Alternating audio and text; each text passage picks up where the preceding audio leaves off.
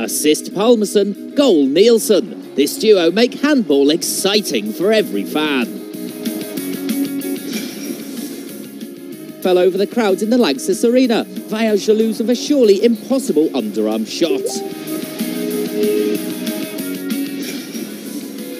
Luc Abalo always gives a hint of the unimaginable, but this goal even surprised him. How, Luke?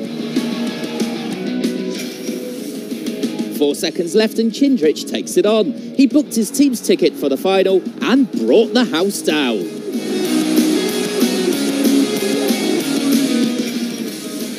The most important goal of the weekend by a distance. Two seconds remaining and Cupic shoots Vardar to the top of the handball throne.